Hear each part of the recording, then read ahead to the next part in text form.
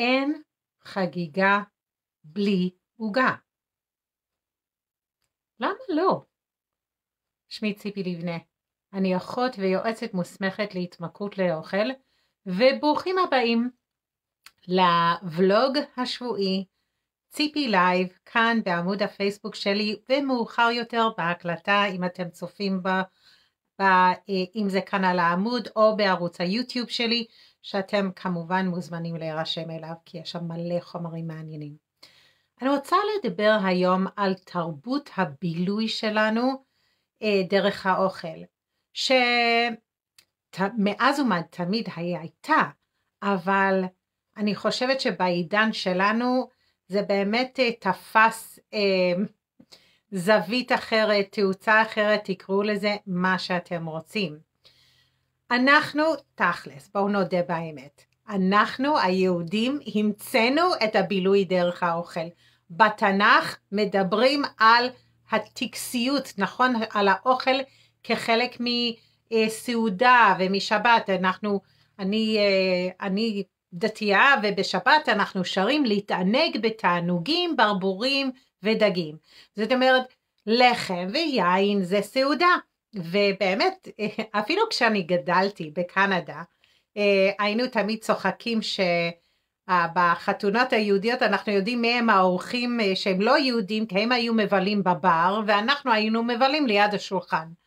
אז מאז שבני אדם יש להם תרבות, האוכל יש לה משמעות תרבותית, חברתית, ולא רק עניין של להזין את הגוף ולספק לו את האנרגיה שהוא צריך. יש לאוכל המון המון משמעות. אבל היום זה כבר הפך להיות עם, איזה, ש, שיהיה אוכל בכל אירוע, בכל אירוע, אם זה חברתי, או אם זה שמח או עצוב, זה לא משנה, זה, יש אוכל, ויש המון אוכל, והמון אוכל עשיר, עם הרבה סוכר וקמח, מזון מעובד, זה כבר, אם אנחנו כבר מדברים על יהדות, יש עניין של ונשמרתם על נפשותיכם. מה אם לשמור על עצמנו, על הבריאות שלנו? כי האמת היא להגיד אני אגיש הרבה ומי שלא רוצה לא יאכל, זה לא עובד. המוח של בני אדם לא עובד ככה. אם יש המון המון אוכל עשיר מול העיניים שלנו, אנחנו אוכלים עם העיניים. אוכלים יותר ממה שהתכוונו, או אוכלים יותר נקודה. והיום בתרבות שלנו הארוחות המאוד מאוד עשירות עם המון המון אוכל עשיר ומגוון ומאוד מאוד מפתה שקשה לסרב לו גם עם שבעים אה, כבר הפך להיות סטנדרט זה כבר לא משהו מיוחד וגם בעצם כל בילוי חוגגים אז נוסעים למסעדה ואני רוצה דווקא להביא, לא להגיד שצריך להפסיק את זה לאלתר, ברור שלא, אבל אני כן רוצה לתת לכם קצת חומר למחשבה, אולי בנוסף לאוכל, לא רק האוכל, שיהיה עיקר אחר בנוסף, כאילו, או, או לפעמים בלי אוכל, לפעמים כן לעשות דברים שהם בילוי שלא קשורים לאוכל. לפעמים. אני רוצה לאתגר אתכם, אני אה, שוחחתי על הנושא הזה באחת הקבוצות שלי אתמול בערב, ואחת אמרה, היא אמרה, לא עולה בדעתי איך אפשר לחגוג משהו בלי אוכל. זה פשוט, זה, זה לא בלקסיקון שלי. חייב להיות אוכל, אצלה זה אוכל בריא, בסדר, אבל עדיין. זה העניין הזה שאם יש יום הולדת יש ארוחה. אם יש, אה, אם אה, אחת סיימה לימודים אז עושים ארוחה. אם, אה, ויש המון המון דרכים שאפשר לבלות ולחגוג שלא קשורים לאוכל. ואני אפילו אתן לחגיגות של אוכל זווית נוספת. כשאני הולכת לאירוע חברתי, וזה ברור שיש שם אוכל, אני באופן מאוד מאוד מכוון ומודע שמה פוקוס והתמקדות על החלקים של אותו מפגש שלא קשורים לאוכל. לדוגמה, הולכים לבלות במסעדה כדי לחגוג יום הולדת של מישהו במשפחה. אז האם ההתמקדות תהיה על המסעדה או ההתמקדות תהיה על היום הולדת? על, על האירוע החברתי הזה שאנחנו נפגשים ביחד סביב שולחן, הזדמנות לראות אנשים ולחגוג איזשהו אירוע מאוד מאוד מיוחד בשביל בן אדם מיוחד. אותו דבר לדוגמה בחתונות. כשאני הולכת לחתונה, בדרך כלל בחתונות מגישים שלוש ארוחות שמתאימות לחייל שעכשיו חזר ממסע כומתה. שלוש פעמים.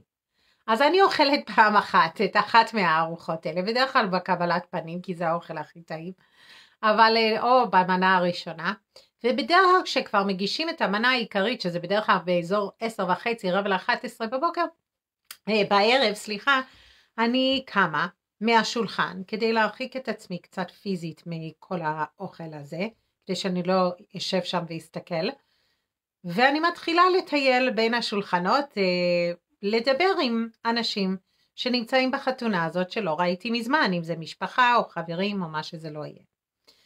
ואני כן יכולה להגיד שהיום שאני כבר הפסקתי לאכול מתוקים ובצקים וגם מזון מעובד, וככל שאני לומדת איך תעשיית המזון מתנהלת במסעדות רשת במיוחד, אבל אפילו ספקים של חומרי גלם למסעדות, ומה עושים עם האוכל הזה.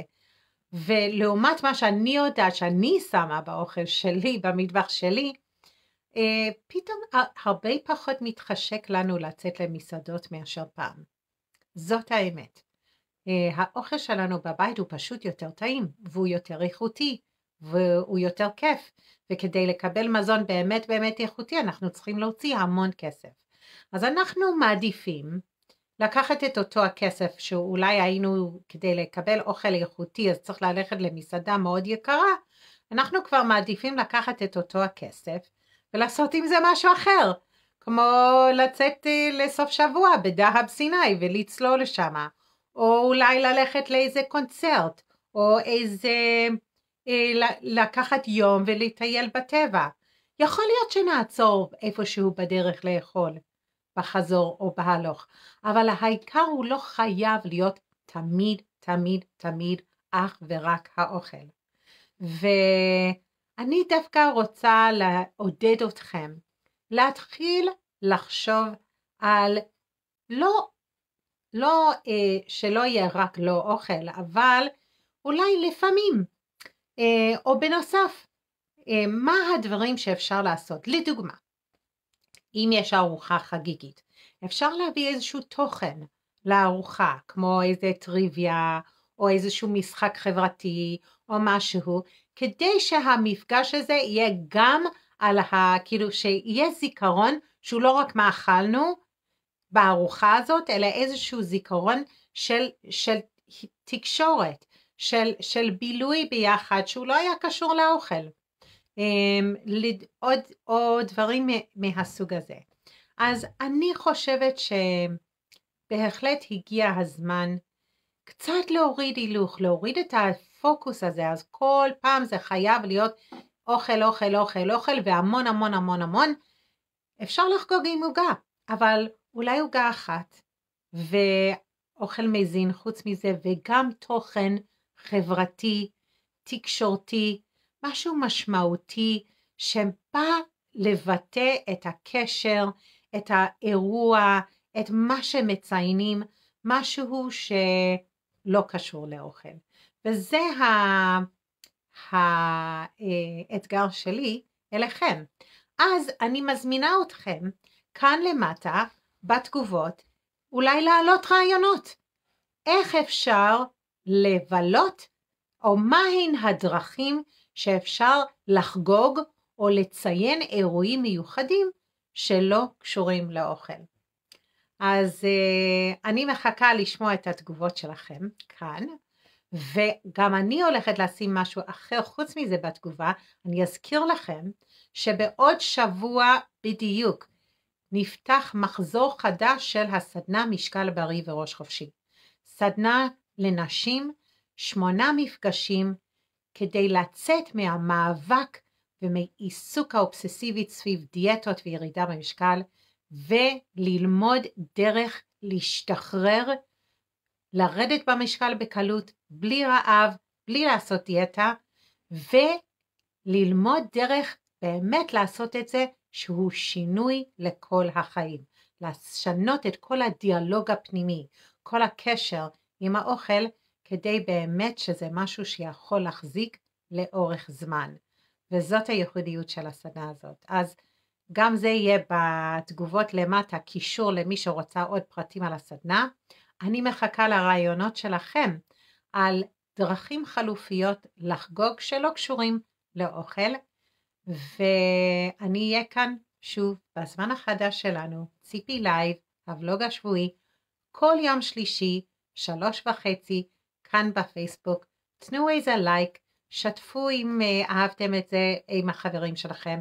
אם אתם צופים בערוץ היוטיוב שלי, הרשמו לערוץ ותלחצו על הפעמון, ואז אתם תדעו כל פעם שהוולוג עולה מחדש לערוץ שלי.